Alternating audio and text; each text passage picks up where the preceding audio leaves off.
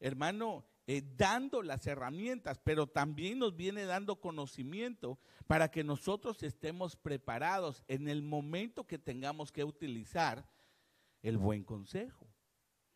Por eso es que nosotros debemos de reconocer todas las cosas, hermano, que entran a nuestro oído desde el momento que entramos por esa puerta. Porque desde que entramos por esa puerta, venimos a un Edén, venimos a un tipo de Edén. Y dentro del Edén, hermano, hay cosas preciosas. Por eso nosotros, hermano, cada vez que nos acercamos a escuchar, eh, perdón, que nos escuchemos a oír, terminemos escuchando, para que pues, terminemos atesorando lo que realmente nos conviene, que es toda la palabra del Señor. Entonces, dentro de esto, quiero hablarles sobre los caminos de Dios. Eh, yo sé que en algún momento hemos, hermano, también ministrado eh, sobre este tema, pero sin embargo, eh, considero que todo el tiempo que nosotros recordemos, hermano, cosas de parte de Dios, de parte del Espíritu Santo, siempre va a tener un ángulo diferente. Porque debemos saber que así como nosotros, hermanos, somos cuerpo, alma y espíritu, así también la palabra, porque usted sabe que la cuadrimensión de la palabra es lo alto, eh, lo bajo, lo ancho y lo profundo. Y cada uno, hermano, de esos, de esos niveles o de esos ángulos va a llegar también a las necesidades eh, que tenga nuestro ser integral. Juntamente con los caminos, vamos a hablar unas cosas, vamos a hablar de los caminos y vamos a hablar sobre conociendo los caminos de Dios. Hay otro punto que no lo quise agregar, eh, hermano, posiblemente lo vamos a ir viendo durante la semana, pero debemos saber que en la Biblia se mencionan caminos, hay caminos. Eh, eh, y usted debe saber que no hay, hermano, solamente, sí hay un camino, usted sabe muy bien que el camino es Cristo. Ya vamos a ir hablando porque vamos a especificar ese camino. Pero debemos de saber que en la Biblia habla de caminos y caminos que son de Dios. Por eso nosotros debemos de ir, hermano, eh, interesándonos en lo que el Señor quiere hacer en nuestra vida. Entonces, hay algunas cosas que quiero enfatizar. No sé, eh, yo creo que eh, puse el slide con que no iba a empezar, pero déjeme iniciar con esto. En la Biblia hay un salmo. Hay un salmo que escribió David. Y ese salmo que escribió David, hermano, e, es una poesía preciosa. Pero si usted trajo su Biblia, usted trajo su Biblia, ¿verdad? Sí, dicen algunos y levantan el teléfono. Va, está bueno, no hay clavo. Como estamos en el siglo XXI, dice un hermano. Entonces, debe saber que si usted tiene una Biblia, hermano, todavía de papel, y puede hacer que algunas versiones todavía mantengan el título, eh, si usted tiene una Biblia titulada, en el Salmo 25 va a decir petición por guianza. Y algunas otras cosas más. Hay, otras versiones que dicen algunas otras cosas más. Pero esta petición de David, hermano, es bien preciosa. Eh, yo creo que en el momento que la leí, hermano, eh, me dio esa atracción de que en ese momento lo que estaba pidiendo no era oro ni plata. Aunque eh, muy bien, hermano, estamos en derecho que también podemos hacerlo. No estamos diciendo que no debemos orar por eso o tener una petición sobre eso. Pero viene David y hace una petición sin igual. Fíjese pues, le voy a leer eh, la versión Reina Valera. Miren lo que comienza diciendo. Muéstrame, oh Jehová, tus caminos. Enséñame tus sendas. Mire, mire qué bonito, de qué manera el rey, un rey, comienza pidiendo una guianza. Encamíname en tu verdad y enséñame, porque tú eres el Dios de mi salvación en ti he esperado todo el día. Salmo capítulo, o Salmo 25, perdón, 4 y 5, versículo 4 y 5. Entonces, esta es una petición, hermano, que no todo el tiempo nosotros posiblemente, no lo sé, puede ser que usted todo el tiempo pida sobre eso, hermano, usted será la excepción, pero en muchas ocasiones las cosas que nosotros pedimos no necesariamente eh, sea que el Señor nos muestre el camino. A menos que ya tengamos una situación difícil.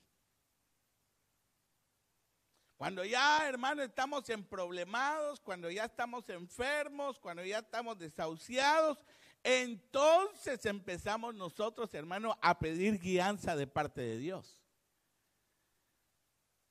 Entonces, esa petición viene para mi alma, hermano, para mi corazón, en que debemos de aprender a que nosotros debemos de pedir y pedir correctamente.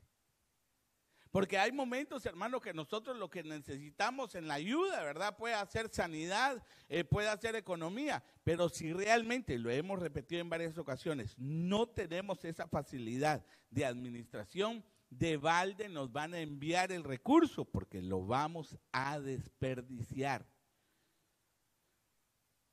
Entonces, quiero regresar al primero, a este versículo que es Deuteronomio capítulo 28, versículo 9.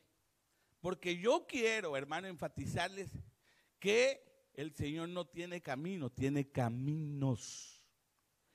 Claro, dentro de los caminos de Dios, usted sabe muy bien que está el camino que lo lleva a Él, que es Jesucristo. Ya vamos a ir, hermano, enfatizando eh, ese camino precioso, es un camino perfecto.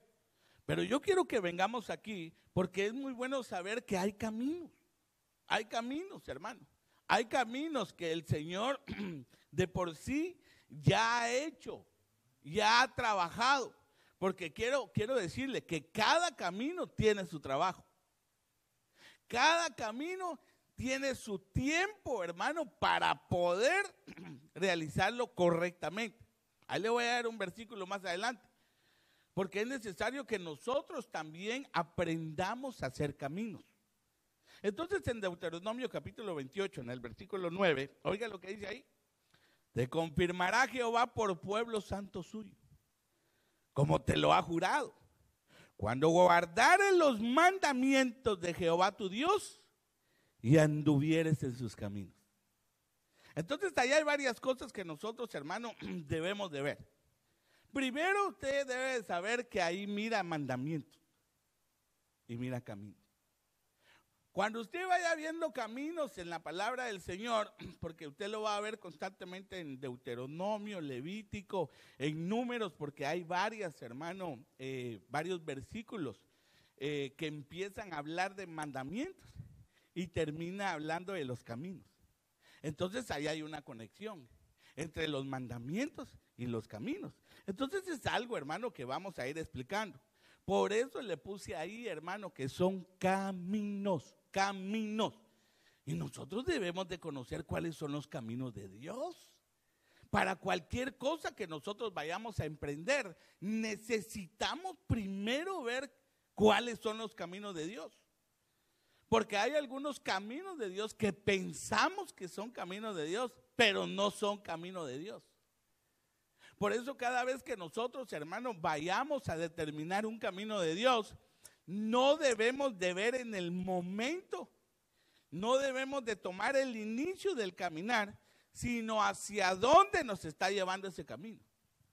Porque hay momentos que tomamos determinaciones, hermano, que sabemos que el final no es bueno. Pero hay algunos que dicen, comienzo a caminar, ahí en el camino veo qué hago. No, porque eso es salirse del camino. Usted debe saber, hermano, que en aquellos tiempos no habían muchos caminos. Hermano, para poder abrir un camino se tenía que trabajar un camino. Eh, bueno, no solamente en aquellos tiempos, usted sabe muy bien que en este tiempo moderno, para poder hacer construcciones, hermano, eh, tienen, hay varias cosas que tienen que hacer.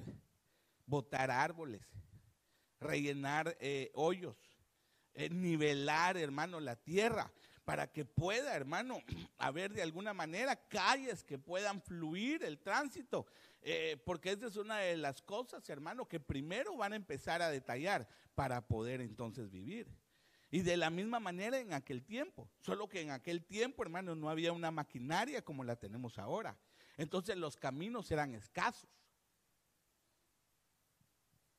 Es más, uno de los mandamientos que le dio el Señor a Moisés fue ese, que abriera caminos. Ahí le voy a ir explicando. Entonces debemos de saber, hermano, que hay caminos. Hay caminos. Mire lo que dice Isaías capítulo 55, 8 al 9. Veamos pues. Sigo en la introducción. Ya, vamos a ver hacia dónde nos lleva estos caminos. Porque mis pensamientos no son vuestros pensamientos, ni vuestros caminos, mis caminos, dijo Jehová. Va, fíjese pues, otra vez. Ahí comienza, hermano. Ahí hay dos cosas que podemos entrelazar. El pensamiento y el camino. El otro vimos el mandamiento y el camino. Aquí, hermano, está hablando una cosa bien interesante, pero miren lo que dice en el versículo 9. Como son más altos los cielos que la tierra, así son mis caminos. Oiga lo que está diciendo. Más altos que vuestros caminos. Ah, entonces vamos a hacer la distinción ahí de dos caminos o de varios caminos. Unos son los caminos de Jehová y otros son los caminos del hombre. Por eso, hermano, el Señor empieza a separar los caminos. Ahí va a ver, con referente a los caminos. Por eso es importante que nosotros vayamos reflexionando que si hasta el día de hoy, con los años que tenemos de vida, hemos caminado en los caminos de Dios o hemos caminado en nuestros propios caminos. Por eso estamos como estamos. Ahora, si usted dice, no, gracias a Dios yo he tenido éxito, gracias a Dios mis problemas de familia se han arreglado, mis problemas con los hijos se han arreglado, los problemas de mi enfermedad se han arreglado, los problemas económicos se han superado, los problemas, los problemas, hermano, quiere decir que usted está empezando a caminar en caminos de Dios. El problema es que si el día de hoy hay situaciones difíciles en las cuales no debemos de temer, porque puede hacer que estemos en medio de la prueba. Pero si estamos en medio de la prueba, debe de saber que el Señor nos llevó por el camino al desierto, porque hay 12 desiertos y hay camino al desierto. fíjese, pues eso lo vamos a ir viendo más adelante. Entonces, en el versículo 9, vuelvo a la carga con ese. Como son más altos los cielos que la tierra, así son mis caminos más altos que vuestros caminos. Y mis pensamientos más que vuestros pensamientos. Entonces aquí debemos de hacer un traslape. Porque aquí el Señor lo que está diciendo es que a causa de pensamientos viene nuestro camino. A causa de la forma que estoy dirigiéndome dentro de mí, así estoy buscando el camino y así estoy caminando. Por eso, hermano, una de las cosas que nosotros debemos de hacer es primeramente trabajar con los pensamientos. Porque los pensamientos, hermano, nos van a dirigir a caminar. Si usted tiene un pensamiento de luz, usted va a querer tomar un camino de luz. Si usted tiene pensamientos de justicia, usted va a empezar a caminar en justicia. Pero si usted tiene un pensamiento de tinieblas, usted va a empezar a caminar en un camino de tinieblas. Entonces sus pensamientos trabajan mucho, evidencian la obra que usted está haciendo, o sea, su caminar, o sea, el camino que acaba de adoptar. Por eso la palabra del Señor dice que debemos de renovar nuestra mente. Porque si renovamos nuestra mente, entonces va a venir qué? Una transformación de pensamiento. Si usted no renueva su mente, va a seguir con los mismos pensamientos, hermano, que posiblemente los van a llevar a andar a caminos que no sean buenos. Por eso la renovación de la mente se hace primero. Entonces cambian los pensamientos, se transforman los pensamientos y cuando nosotros empezamos a transformar los pensamientos, entonces empezamos a ver lo que es bueno, aceptable, perfecto a Dios. A Dios. No lo, no lo, lo bueno, aceptable y perfecto para mí, sino a Dios. Por eso, hermano, cuando nosotros no queremos oír la guianza de un caminar que agrade a Dios, debe de saber que está en su necedad y en su terquedad para querer caminar conforme a lo que usted piensa. Por eso, hermano, a la medida que nosotros veamos que es lo aceptable a Dios, ok, entonces vamos a tomar el camino de Dios. Por eso no podemos, hermano, dejar todo el tiempo eh, a que nosotros escuchemos solo prédica, sino que tiene que venir el acercamiento personal con Dios, a tomar la palabra y empezar a ver qué es lo que el Señor me está hablando a mí para que yo camine en pos de Él, para agradarle a Él. Entonces, hermano, por eso es que necesitamos un tiempo para poder instruirnos directamente con el Espíritu Santo. Eso es por medio de la palabra. Pero si no lee la Biblia, hermano. Ah, no, este, eh, eh, ya leyó la Biblia, hermano. Sí, fíjese que escuché al apóstol. Amén, gloria a Dios, qué lindo. Pero eh, escuchó a otro pastor, escuchó a otro pastor, hermano, escuchó a mil pastores durante el día. Pero déjeme saber, déjeme dejarle saber. Vale la redundancia, va. O que no valga. Pero bueno, debe saber, hermano, que la predicación va para el campamento en donde se está esparciendo la semilla. Y amén, nosotros vamos a recibir de esa semilla, eh, hermano, pan para nuestro matate. Pero debe saber de que hay una palabra específica para la condición en la cual usted está viviendo aquí, aquí. Porque aquí está su caminar. Es en esta ciudad. Los pecados que se está echando las malas obras que está haciendo, los olvidos que usted está teniendo. Hermano, hay muchas cosas. Entonces el Señor empieza, hermano, a enviar de parte de Dios. O sea, el Señor Jesucristo, pero de parte de Dios, ese maná del cielo para que caiga y nosotros, hermano, seamos restablecidos. Por eso debe de haber una transformación. ¿En qué? En el pensar. No, esto no le agrada a Dios. Esto no le agrada a Dios. Entonces los pensamientos comienzan, hermano, a tener una obra, pero tiene que haber una transformación. Ahora si usted dice, esto le agrada a Dios, pero no lo puedo hacer ahora, esto le agrada a Dios, pero no tengo intención de hacerlo ahora, debemos de saber que estamos caminando nuestro propio camino. Tarde o temprano, terminará el camino. Porque va a llegar un fin. Porque los caminos de Dios son eternos. Nuestros caminos no son eternos. Entonces, si no, ¿de qué la salvación?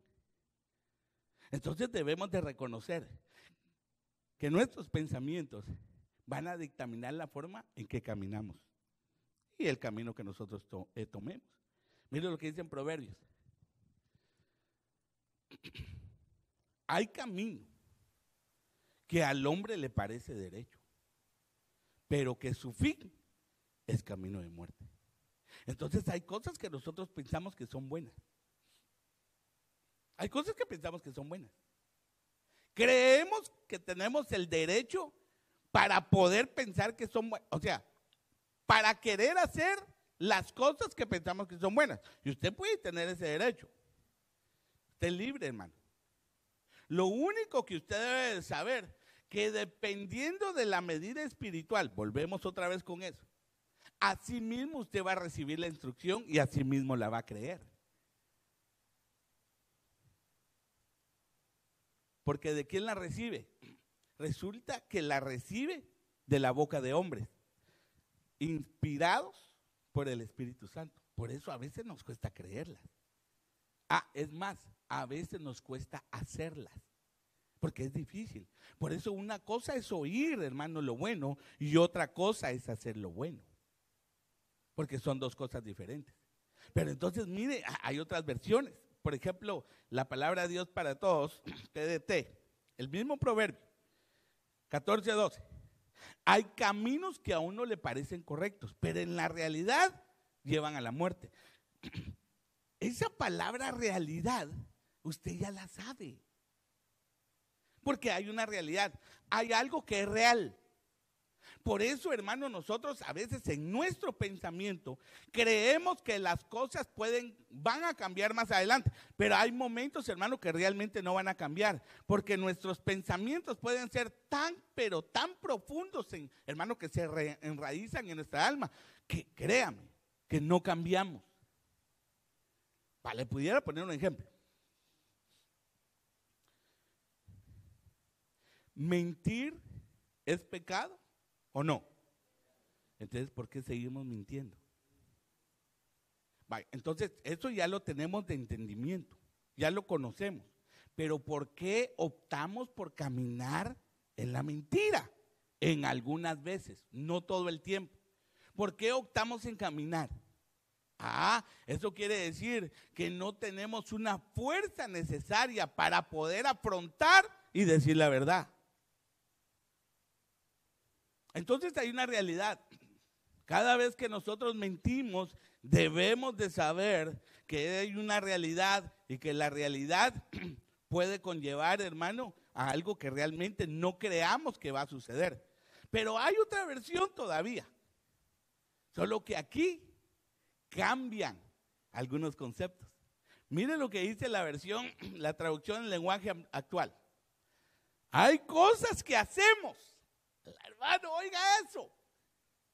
Hay cosas que hacemos que nos parecen correctas, pero que al fin de cuentas nos llevan a la tumba. Reprendo, va, dice usted. Amén. Yo también, hermano. Pero entonces aquí se cambió el concepto. Ya no son caminos, sino que son cosas que hacemos. Entonces quiero tomar esa oportunidad para poder explicarle qué realmente es el camino.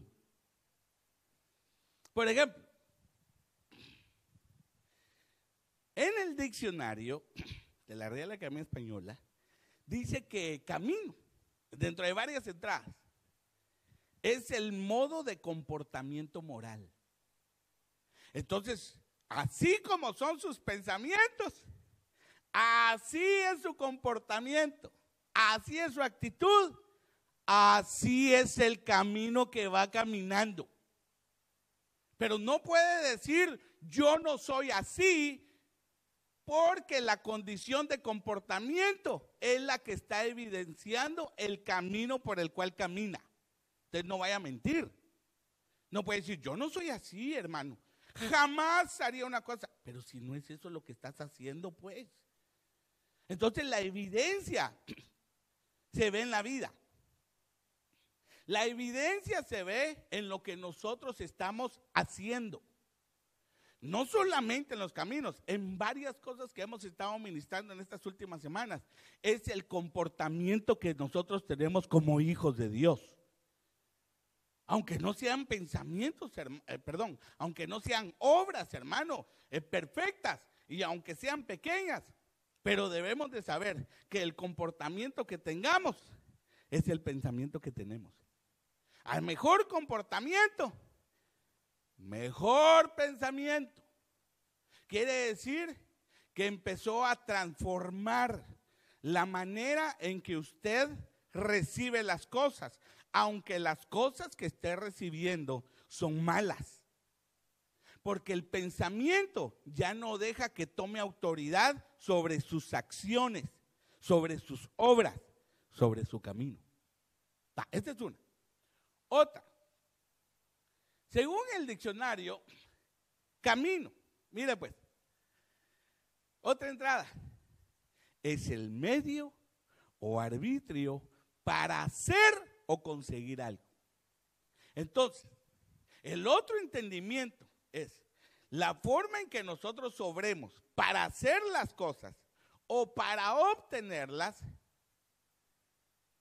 es el producto de nuestro pensamiento y por ende el caminar. Por eso si hay cosas, hermano, que nosotros necesitamos obtener porque realmente lo queremos o porque lo necesitamos. Le digo algo, hay algunas cosas que necesitamos, pero si no tenemos para comprarlo, no lo compre. Ah, no, hermano, es que usted sabe que aquí en este país para poder transportar necesita carro. Eso no es cierto. Eso es lo que nos vendieron. Mire, tan solamente si usted viviera en una montaña, hermano, que ahí no llega bus, le diría yo, cómprese una su bicicleta o si no puede manejar un triciclo. Y ahí vaya a la estación del tren y de ahí, media vez hay una estación de tren, usted ya se movió para cualquier lado. Entonces la idea es que para trabajar, la idea es que para vivir necesitamos un carro. No es cierto. Esto no es cierto. Ahora, que nos facilita muchas cosas, sí. Pero le digo algo, el tener un carro es mucho más gasto. Sí o sí, es mucho más gasto. Primero tiene que pagar seguro. Y dependiendo del año y dependiendo de los años que usted tenga licencia. Luego tiene que pagar gasolina. Peor si a usted le gustan los de ocho cilindros, hermano. Porque si hubiera de 10 hermanos, se echaría del de 10. Bueno, sí hay, va. Sí hay de 10 cilindros. Pero como queremos tratar de tener lo mejor, nos cuesta. Pero es mejor tener un bus. Tener el pase de bus tranquilo. Es más, si usted buscara, mire, a veces ya no queremos buscar trabajo porque estamos bien enfocados donde estamos. Sobre todo así somos los hispanos, hermano. Entramos a un solo trabajo y de ahí nos, hermano, y si fallecemos ahí, de una vez queremos comprar la caja y le decimos al jefe, si me muero, aquí de una vez te traigo mi caja. Porque no queremos cambiar de trabajo. No queremos de alguna manera tratar, como que nos da un poco de temor el cambio porque pudiera buscar, hermanos, cerca de su casa, de lo que usted hace. Pudiera hacerlo. Pero puede hacer que usted no ha tenido, hermano, el deseo ni la intención para hacerlo, porque donde usted está, está cómodo. Bueno, hay muchas cosas que pudiéramos hablar sobre eso. Pero dentro de eso, yo quiero decirle esta palabra Derek. Porque esa palabra Derek cuando está hablando en Isaías 55, tus caminos, es la palabra Derek, que quiere decir varias cosas. Pero dentro de eso quiere decir curso de la vida o el modo de acción. Cuando está hablando del curso de la vida, es la forma en que usted está viviendo. Y el modo de acción es cómo lo está haciendo. Por eso, hermano, se dictamina los caminos de Dios y los caminos del hombre. Y necesitamos hacer ese cambio. Porque puede hacer que nosotros estemos acostumbrados a hacer las cosas. Usted puede venir y recibir la palabra.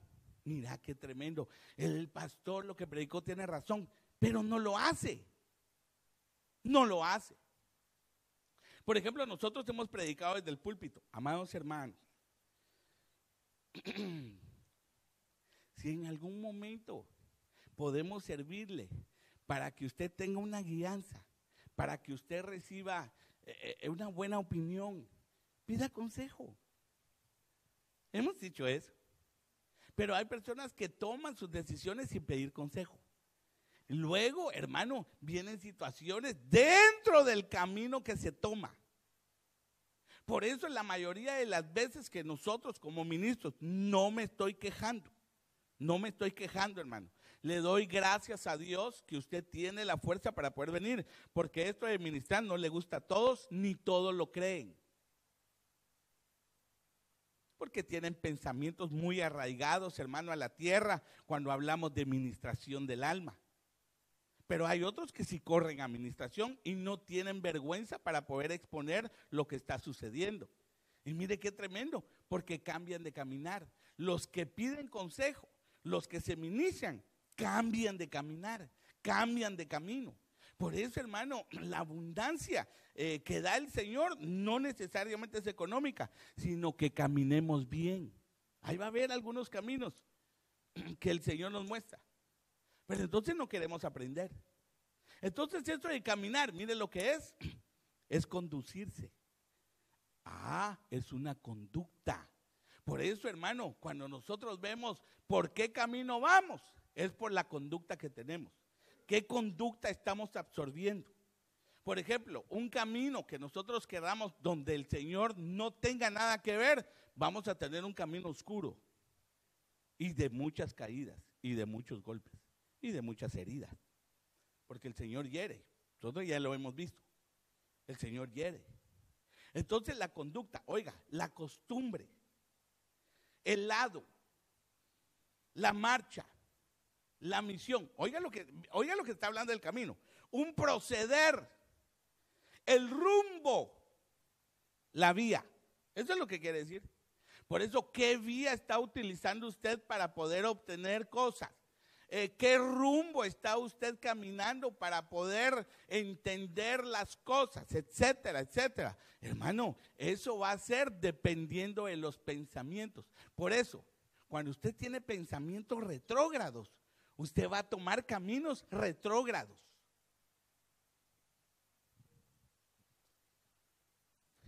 Hay, hermano, hay algunas cosas que nosotros las tenemos bien ganadas. Por favor, no me vea mal. Si hay algunas cosas que nos están sucediendo, es porque ese fue el camino que nosotros quisimos caminar y no quisimos intervenir, o, mejor dicho, no quisimos atender la intervención de Dios para cambiar nuestro caminar. El problema es que después nos quejamos. El problema es que después lloramos.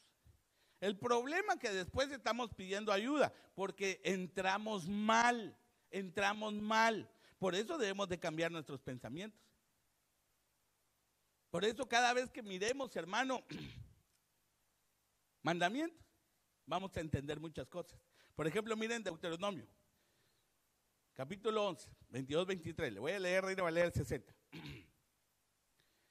Porque si guardáis cuidadosamente todos estos mandamientos, oiga lo que dice, que yo os prescribo para que los cumpláis, y si amaréis a Jehová vuestro Dios, andando en todos sus caminos. Voy a hacer aquí una pausa. Primero está hablando de mandamientos. Y luego, a causa de los mandamientos, habla de caminos. Por eso, hermanos, nuestros pensamientos deben estar siempre bien claros, hermano, enfatizados en el mandamiento, para que podamos caminar en sus caminos. Por eso tiene que venir una renovación, para que los pensamientos ya no vean lo que queremos hacer, que creemos que es bueno, sino que lo que es bueno de parte de Dios y poder obrar. Entonces, eso es lo que está tratando de decir. Pero, mire lo que dice esta versión PDT. Es el mismo capítulo, Deuteronomio 11. Le voy a leer el versículo 22. Si ustedes obedecen fielmente todos estos mandamientos que yo les mando cumplir, si aman al Señor, viviendo como Él dice, la pregunta es, cuando se refiere a viviendo como Él dice, ¿qué es lo que Él está diciendo? Pero me estoy dando a entender. Cuando Él está diciendo, viviendo como Él dice, como Él dice, ¿a qué se refiere? A los mandamientos, a la palabra. Exacto. Por eso, hermano, los caminos tienen que ver mucho con el cumplimiento de los mandamientos, poniéndolos por obra. Por eso, hermano, cuando nosotros quebrantamos un mandamiento, quiere decir que tomamos nuestra propia actitud, nuestro propio camino. No son caminos de Dios, son caminos nuestros. y los caminos nuestros nos llevan al pecado. Por eso nosotros, hermanos, debemos de tener cuidado. Entonces, si ponemos los mandamientos por obra, oiga muy bien, es caminar en los caminos de Dios. Cada vez que usted cumpla los mandamientos, es caminar en los caminos de Dios. Entonces, hablemos de algunos mandamientos, pues. Recuérdense que hay mandamientos del Padre, del Hijo y del Espíritu Santo. Ah, por ejemplo, no robar. Si no robamos, estamos en un buen camino, en un camino de Dios. Si no fornicamos, estamos en un buen camino, en un camino de Dios. Si no adulteramos, estamos en un buen camino, estamos en un camino de Dios. Si honramos a nuestros padres, no estamos en un mal camino, estamos en un buen camino de Dios. Por eso cada vez que cumplimos los mandamientos, estamos en buen camino. Ah, no, pero yo voy a adulterar. Así quiero yo. Yo siempre he deseado una pareja y yo no sé por qué la gente se tiene que casar si así está todo el mundo como Raimundo. Por eso, hermano, eh, vienen las torpezas de ver las cosas de afuera. No, hermano, así no es la cosa. Por eso, mire, eh, pongamos bien la visión. Que en cumplir los mandamientos, cumplir los mandamientos es estar caminando con Dios. Eso fue, hermano, a ver, Explícitamente en la palabra del Señor hay dos hombres que caminaron con Dios. ¿Quiénes fueron? Enoch y el otro. No. ¿Ah? No, Enoch. No fue Noé. Vieron dos que caminaron con Dios.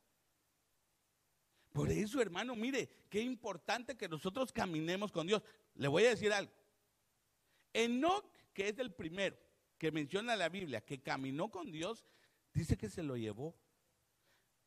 Ahora, le hago una pregunta. ¿Murió Enoch? No. Ah, todavía no se ha muerto. ¿Dónde estará?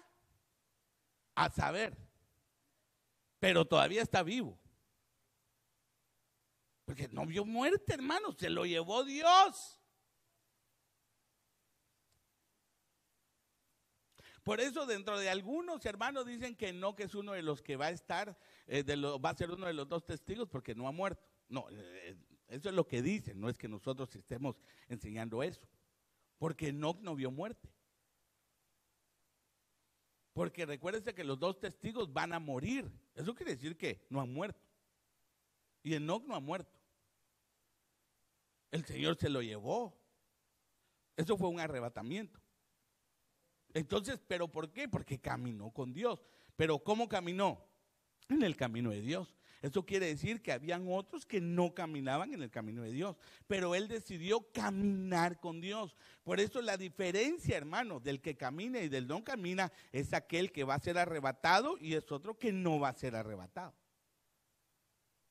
Por eso nos conviene que nosotros caminemos. Porque si caminamos, hermano, con Dios, caminamos en un camino de verdad. Y uno, hermano, las puertas de eso son los mandamientos. Mire lo que dice Proverbios capítulo 6, versículo 23. Porque el mandamiento es lámpara.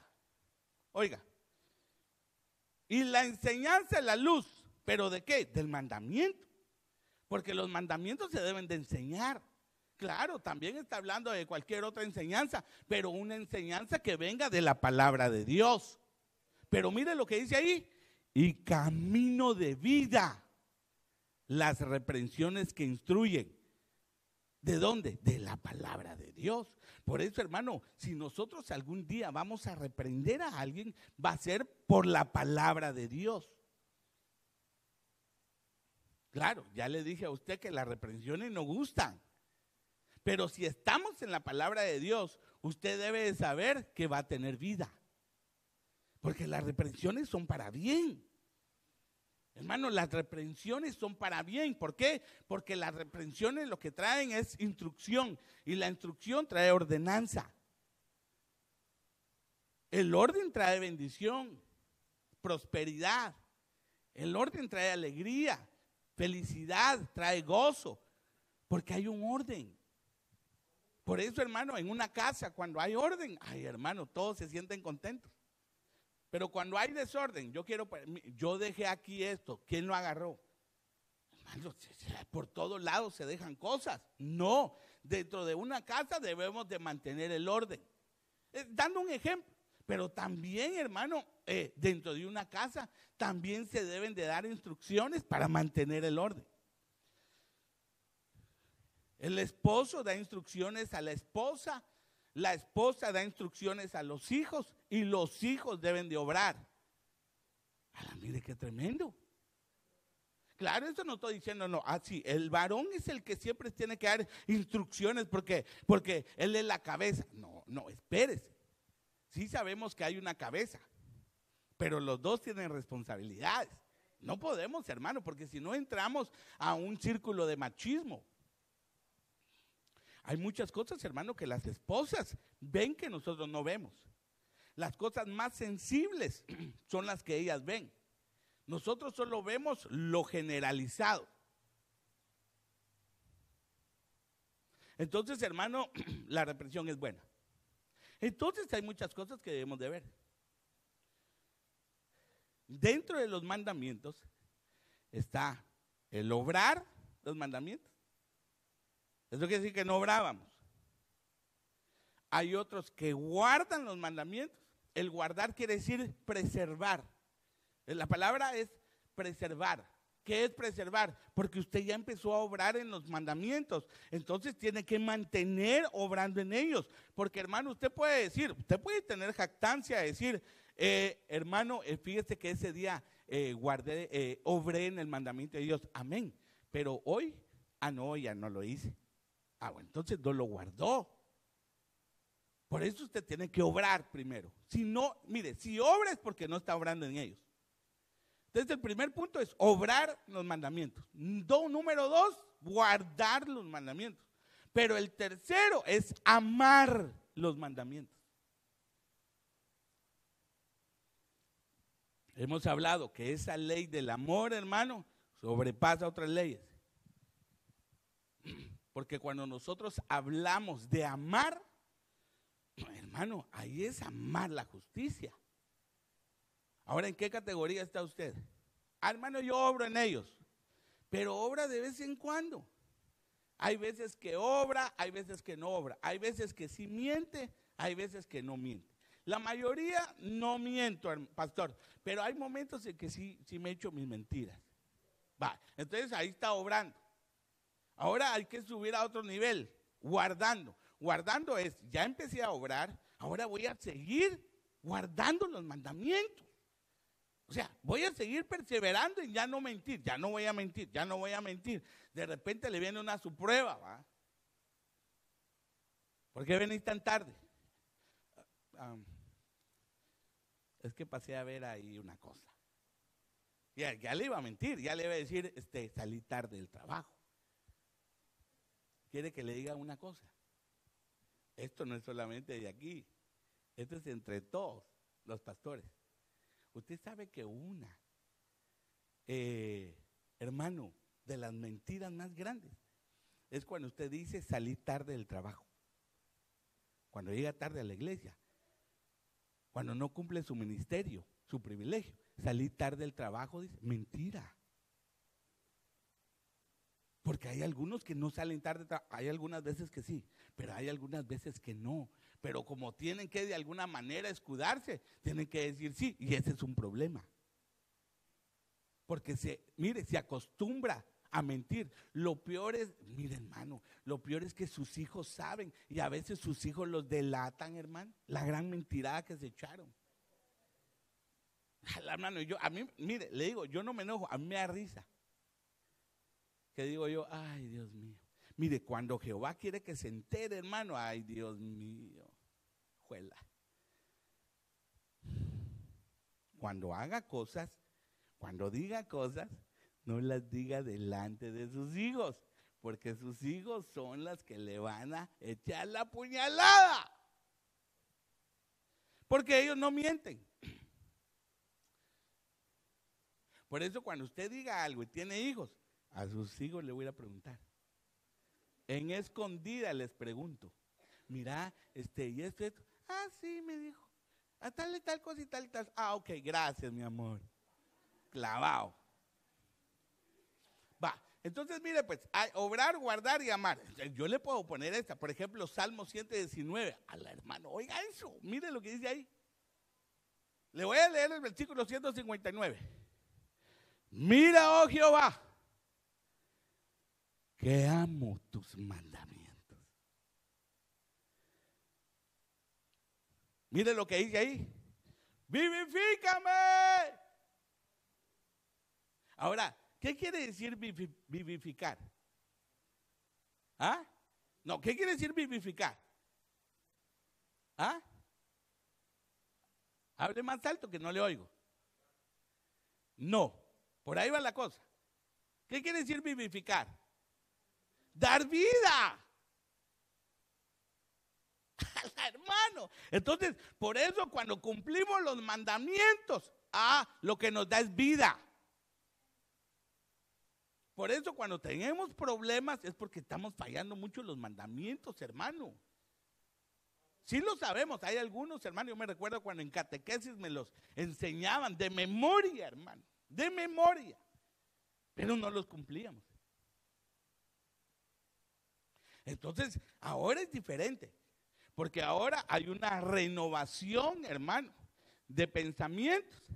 Y empezamos a poner, no, no voy a pecar, no voy a pecar, no voy a hacer eso, ya no lo voy a hacer, lo hice, pero ya no lo voy a hacer, ya no lo voy a hacer, ya no lo voy a hacer porque quiero agradar a Dios. Entonces empezamos a caminar en un camino de Dios. Entonces venimos y llegamos a amar los mandamientos.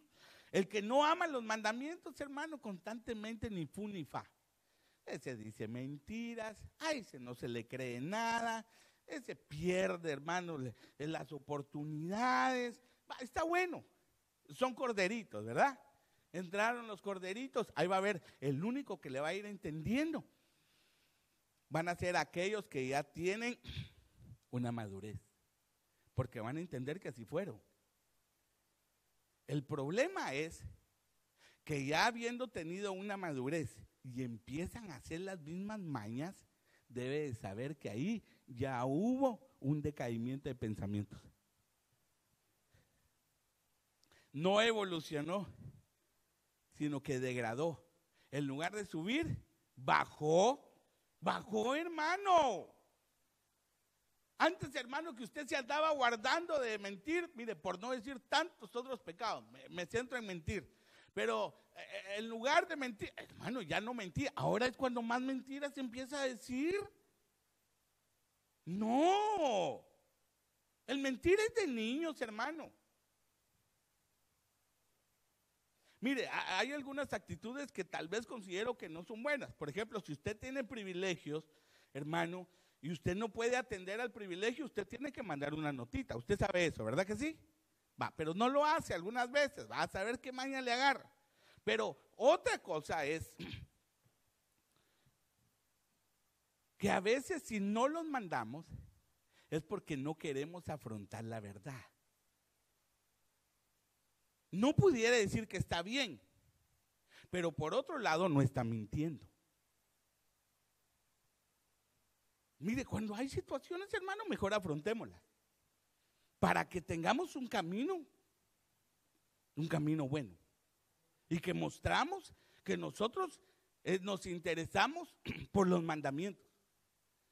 Simple, es simple.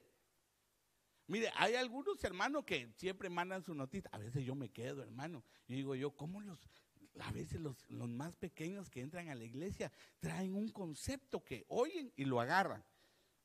Oro por ellos para que sigan haciendo eso. Pero hay algunos que dan notificación que no vienen a la iglesia. Hay otros que a saber, hermano.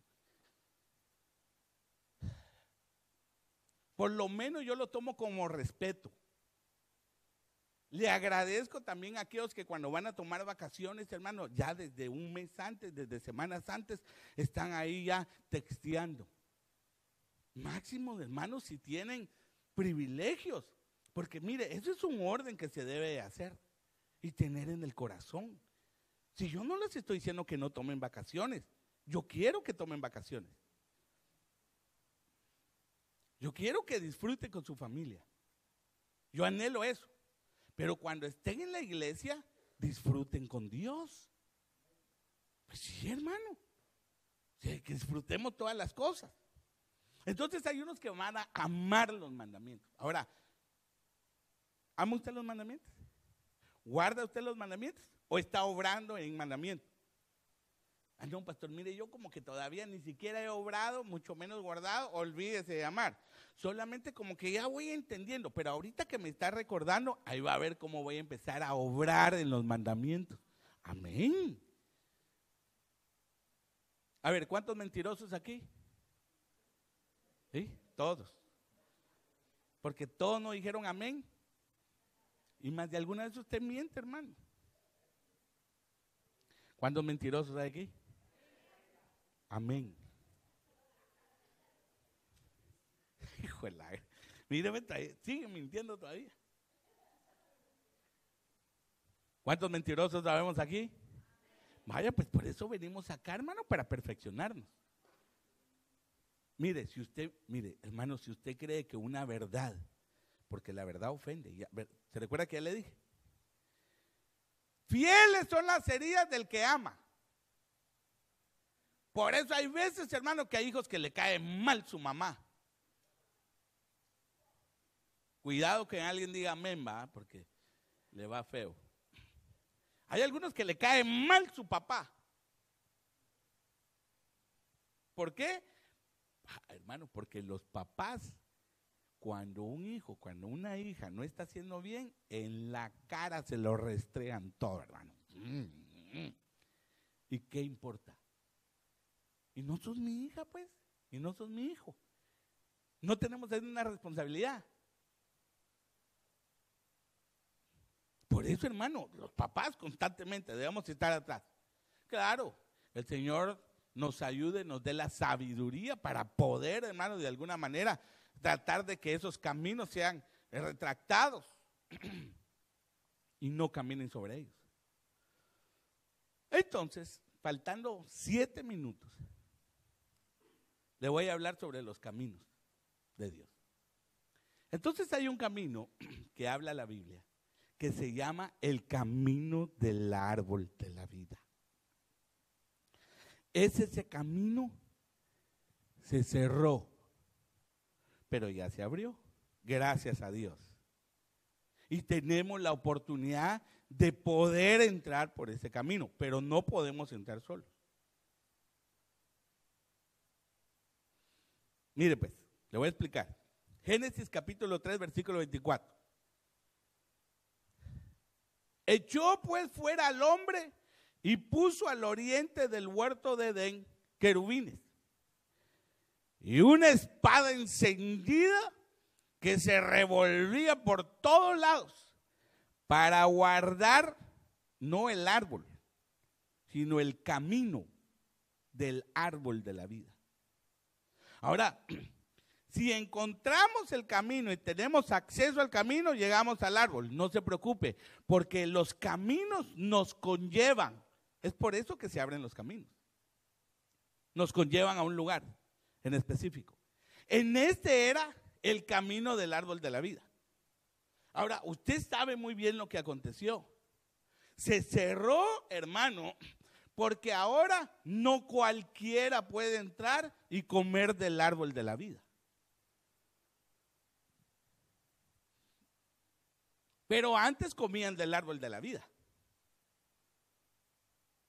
Por ejemplo, en Génesis capítulo 2 dice la palabra del Señor que Él hizo nacer árboles dentro del Edén, ¿verdad que sí?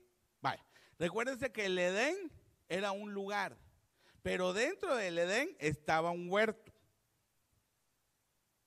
Y ese huerto el Señor hizo crecer árboles. Dentro de todos los árboles estaba el árbol de la vida, que estaba en medio del huerto. Y había otro árbol que se llamaba el, árbol de qué? Del conocimiento, del bien y del mal. Le pregunto, usted que ya leyó, usted puede ir a Génesis capítulo 2. ¿De cuál árbol prohibieron que no comiera? ¿Del árbol de la vida? No. ¿De cuál? Del bien y del mal. Ah, entonces comían del árbol de la vida. Porque ese no tenía restricciones. Si no hubiera dicho, cuidado, van a comer el árbol del bien y del mal, del conocimiento del bien, y también van a comer del árbol de la vida. No.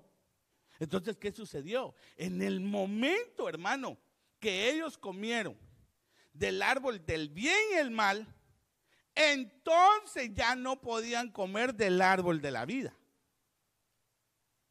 Pero mientras que no habían comido el árbol del bien y el mal, hermano, ellos comían del árbol de la vida y no eran, no eran agentes de luz, pues. ¿O no? Entonces la consecuencia fue comer del árbol del conocimiento del bien y el mal. Ahora, ¿será que el Señor levantó ese árbol para tentar a Eva? Porque la palabra dice que el Señor no tienta a nadie. Ah, eso quiere decir que el árbol había sido puesto para que en algún momento el hombre comiera de él, solo que no era su tiempo. Ahí podemos ver muchas cosas. Que el hombre dentro del Edén no conocía a grandes rasgos el mal, pero tampoco el bien. Porque, hermano, mire, una cosa es ser bueno y otra cosa es hacer el bien. ¿Sí o no? Por ejemplo, eh, hasta el día de hoy, aunque usted no lo crea, allá en Colombia se sigue hablando de un narcotraficante. ¿Quién cree usted que es? ¿Ah?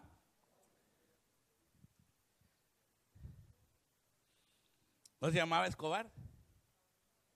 ¿Verdad que hasta el día de hoy se habla de, eh, ¿cómo se llama? ¿Cuál es el primer nombre? Pablo Escobar. Como ya falleció, ya podemos hablar, va. Pero hermano, Pablo Escobar, hoy por hoy, escuche lo que le voy a decir, porque eso lo acabo de escuchar yo en un documental, hermano. Todavía lo ven como un héroe nacional. No todos a los que ayudó. Le hago una pregunta. ¿Hizo un bien con los que no tenía? Sí, hizo un bien. ¿Era bueno?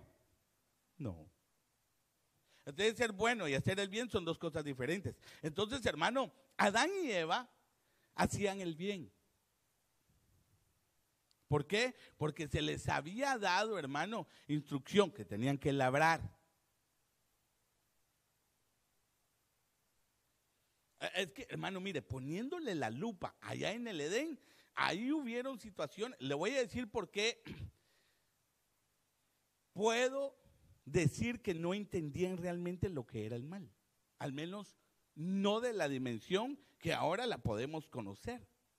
Eh, ni, tampoco tenemos ahorita, hermano. Mire, con tanto que hemos ministrado y lo que se nos ha enseñado, todavía no tenemos un pleno conocimiento de lo que realmente es el mal. Porque ya sabemos que la maldad, la muerte, la iniquidad, hermano, pues, conocemos a grandes rasgos y lo que la palabra del Señor nos ha indicado, pero hay otras cosas que realmente no sabemos. Pero una de las cosas que dijo Eva, si usted se va al capítulo 2, buscame en qué versículo, cuando le habla la serpiente, yo creo que es en el capítulo 3, le habla la serpiente, le dijo, ah, con que no podéis comer de los árboles del huerto. Le dijo, sí, sí podemos comer del árbol del huerto. Pero una de las cosas que le responde Eva es que dice que no podían ni tocar el fruto, pero eso no se lo dijo Dios. Dios le dijo, que no podían, ¿qué? Comer el fruto de qué? De ese árbol, ni el bien y el mal. Pero luego, en el capítulo 3, Eva le agrega algo. Ah, dice que ni siquiera lo podemos tocar, pero eso no, eso no dijo Dios. Entonces quiere decir que había un conocimiento todavía en ellos, hermano, que no había alcanzado un grado total. Por eso el Señor dijo, mire, ahora es uno como nosotros. Hermano, Dios mío, ¿sabe cómo le pudiera explicar? Como un bebé. Como un bebé, hermano, que todavía no conoce que metiendo los deditos ahí se va a electrocutar. Va a sentir cosquillitas. Entonces ahí quiere meter el dedo. Ahora, usted ya sabe, usted hermano anda poniendo de todo para que no vaya a meter ahí su dedito. De la misma manera era Adán y Eva, los tenía como bebecitos y los tenía bien. Pero entonces alargó su mano para tocar algo y metérselo a la boca y ahí estuvo el problema. El peor problema es que se lo dio a su marido y su marido también comió. Bueno, entonces como comieron, entonces ahora dijo el Señor, no, ahora así como están, no los queremos que vivan eternamente. Entonces vamos a poner una espada que guarde el camino. Vamos a tener que tener una operación de regeneración, de renovación, para que entonces sean aptos para comer del árbol de la vida. Por eso digo el Señor, yo soy el camino, la verdad. Ah, yo soy el camino que lleva para el árbol de la vida. Mire lo que dice Apocalipsis 2.7. El que tiene oído, oiga lo que el Espíritu dice a las iglesias. Al que venciere, le daré a comer del árbol de la vida. Pero y no hay ahí una espada encendida, pues que se vuelve y se mueve para todos lados. Sí, ahí está. Cuidado usted que quiere entrar ahí, hermano. Ahí sí que se lo hacen picadillo. Pero resulta que esa espada, hermano, oh, Dios mío, es Cristo. Entonces él sí lo deja entrar. Por eso, hermano, si nosotros vivimos obrando en los mandamientos, entramos a ese camino de vida.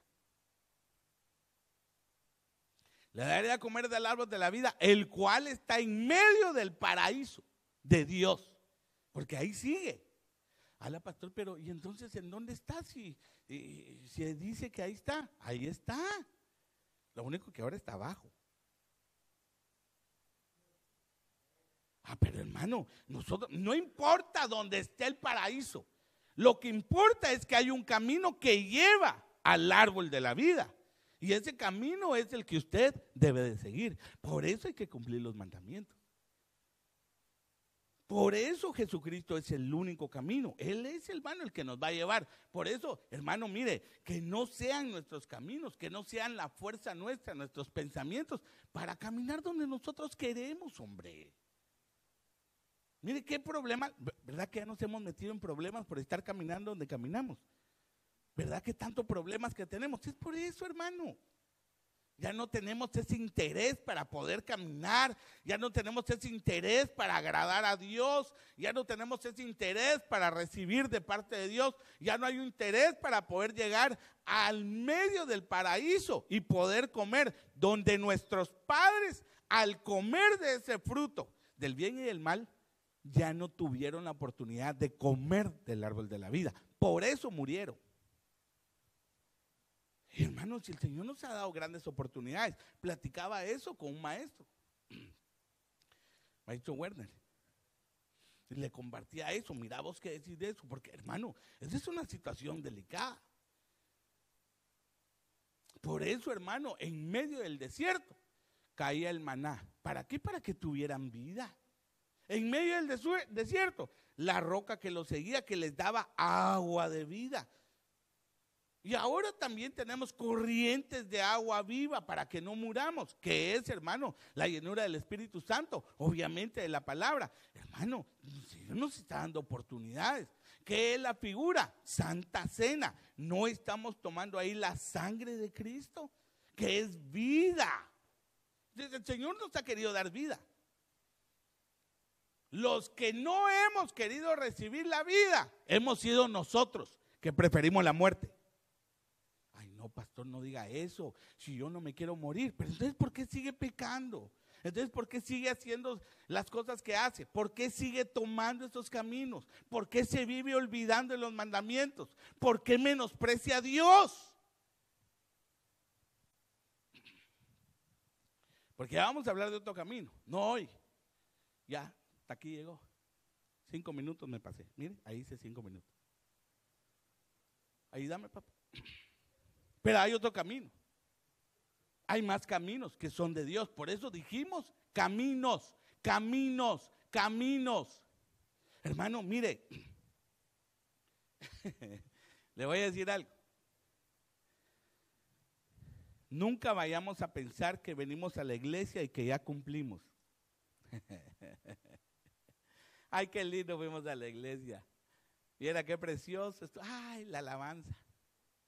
Ay, la adoración, qué lindo. Pero cuando salimos, hermano, seguimos pecando. Nos ponemos otra vez esa, e, esa vestimenta de hipocresía. Volvemos a vestirnos esa vestimenta de doble ánimo. No yo la otra profecía. Hermanos, lo que el Señor nos ha querido es dar armadura que no la he querido, que no hemos tenido el ánimo para tomarla, hermano, y para pelear en pos de cumplir los mandamientos, porque es una pelea, hermano. Cumplir los mandamientos es una pelea, pero grosera, que necesitamos una armadura.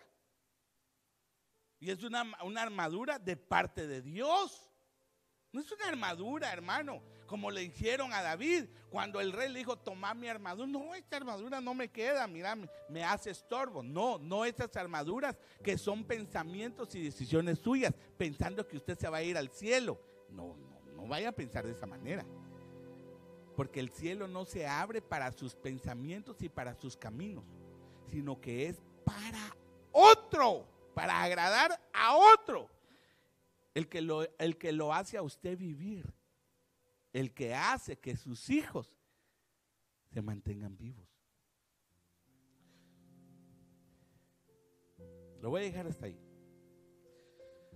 Es importante que nosotros, hermanos, empecemos a renovar esa forma de pensar. No, pensar, pensar, ¿sí? Venir a la iglesia, hermano, es una cosa preciosa. Sobre todo cuando desde la puerta nos empezamos a despojar de nuestras ideas y nuestros pensamientos. Porque si no entramos solamente a hacer bulto. No, necesitamos de alguna manera cambiar. Empezamos a restaurar la relación que un día teníamos allá en lugares celestiales con nuestro Padre. No podemos seguir siendo los mismos hermanos cada semana, cada semana, cada semana. Sí, van a haber batallas, van a haber luchas. Gloria a Dios por eso. Porque el Señor, hermano, nos va dando fuerzas para seguir tomando la espada. Pero eso no significa, hermano, que nosotros, ya teniendo tiempo, sabiendo cómo tomar la espada, tengamos pensamientos que nos van a dirigir en lugar de ir a la guerra con nuestros propios miembros carnales. Decidamos no salir a pelear porque así como estoy viviendo, estoy bien. Perdone mi amado hermano. Esta palabra también la aplico a mi corazón y a mi alma. Si yo me miento a mí mismo, queriendo venir a predicar delante de ustedes, queriendo llevar de santidad cuando yo estoy pecando, ay de mí en el día. Pero de la misma manera para usted, esto es personal. Proponga en su corazón y en su alma desde lo más profundo agradar a Dios. Hermano, la palabra dice que los mandamientos, la palabra son nuestra vida. Eso es lo que nos hace vivir. No es la forma solamente que usted, hermano, puede hacer ejercicio, comer, claro, claro, también influye, pero debe saber que es la palabra del Señor lo que nos hace estar vivos y servir a Dios. Dios ha sido bueno. Y grande ha sido su misericordia. Grande también es su salvación. Le pregunto, ¿por qué no entonces darle al Señor lo que es de Él? Lo que es para Él. Y soltar nosotros las cosas que nos están afectando para poder servir a Dios. Eso nos cuesta aceptar y eso nos cuesta obrar.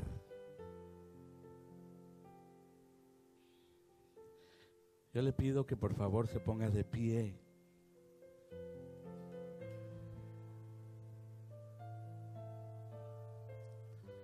Yo quiero que cierre sus ojitos.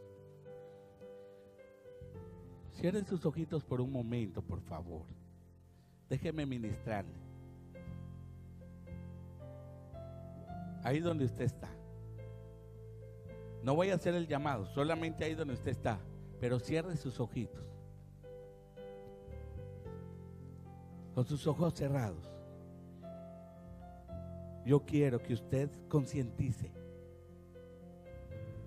si hasta el día de hoy usted ha caminado por senderos y caminos de Dios o si ha decidido caminar en los suyos. Si usted ha decidido caminar en los suyos, puede hacer que durante el caminar en el principio le vaya bien pero puede hacer que termine mal. Pero si usted decide agradar a Dios, puede hacer que en el principio le vaya mal. Porque puede hacer que tenga que terminar relaciones que no son buenas delante de Dios. A alguien estoy hablando. El Señor estado apuntando a relaciones ilícitas que se han estado llevando en esta casa. Y el Señor dice, basta ya. Si vamos a caminar en pos de Dios, lo vamos a hacer con todo nuestro ser y con un corazón dispuesto y renovado. No más a relaciones ilícitas. No más. vas a salir de esa situación. Y puede ser que en el principio sea difícil y doloroso, pero al final vas a tener vida y vida eterna. Porque aún en tu corazón has querido tener una familia, la otra persona no ha querido. En su corazón no ha querido. Y porque no ha querido, tú te has estancado. Y has permanecido por tiempo. Pero ahora vas a caminar en obrar los mandamientos de Dios. Si tú te has obrado, te has olvidado de obrar en los mandamientos, hoy te digo, cambia. Porque no de balde el Señor tiene su vara y su callado. Porque en varias ocasiones te ha dicho, deja, deja de pecar. Y una y otra vez lo has hecho. Y en tu corazón tú mismo te has hecho a pensar que te ha perdonado. Pero nunca has venido a confesar tu pecado. Hoy te dice el Señor, arrepiéntete y conviértete y entonces perdonaré tu pecado. Basta ya de romper mis mandamientos, dice el Señor. Ahí donde tú estás, amado hermano, concientizando lo que la palabra del Señor nos dice. Ven delante de Él y dile, Señor, ayúdame a caminar en pos de ti.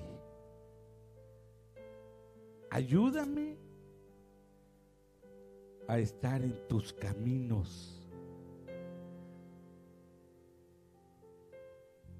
Él te ayudará, Él te dará la fuerza y te dará la sabiduría para que puedas salir de esas condiciones.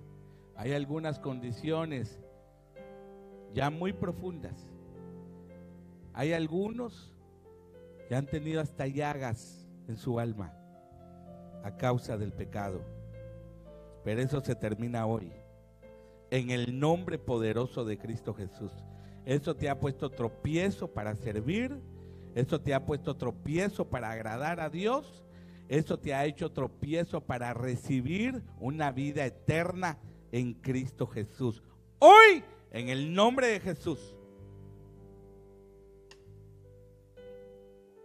se rompe ese pecado repetitivo. En el nombre de Jesús. Padre, yo te pido por este tu pueblo, agradecido por todas las cosas, Señor, que tú estás haciendo. Sabemos que caminar en tus caminos es obrar y poner tus mandamientos por obra.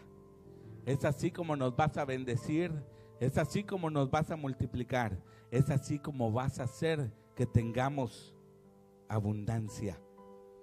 Hoy te pido por cada uno, Señor, para que tú puedas tocar lo más profundo de nuestro ser y poder, Señor, recibir de parte de ti la bendición y la vida y una vida eterna en Cristo Jesús.